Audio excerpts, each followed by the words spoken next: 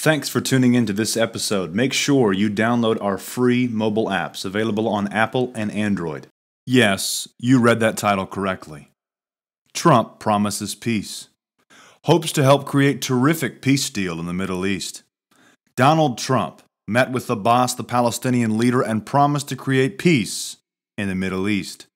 Trump committed himself to pulling off the toughest deal in the world, the peace accord. Hosting Mr. Abbas at the White House, Mr. Trump said he would do whatever is necessary to bring together the Palestinians and Israelis. We want to create peace between Israel and the Palestinians, Mr. Trump said. We will get it done.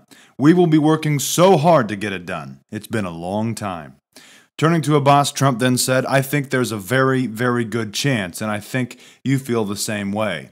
Abbas stated that they believe Trump is a courageous leader and praised him for his wisdom and negotiating ability. And finished off by saying, We believe that we can be partners with you to bring about a historic peace.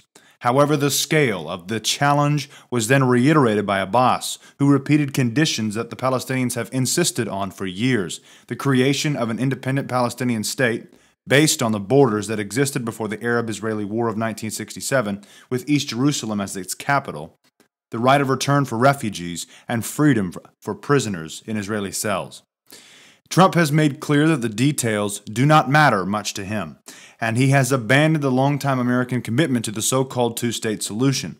Hosting Prime Minister Benjamin Netanyahu of Israel in February, Mr. Trump said he would be fine with a two state or one state solution as long as the two sides were satisfied. That's according to the New York Times. Will Trump bring about peace in the Middle East, and spark the final days. Let me know what you think. That's all I've got for you. God bless and carry on. We are under attack. The mainstream media is getting desperate. The old media is dying. And they're not going anywhere without a fight. We must weather the storm. We have something they don't. You. We need your help. Become a member of the Christian Truther for $1.50 per month, using the discount code in the description to support us in this fight and get access to all of our unlimited content. God bless you and thank you.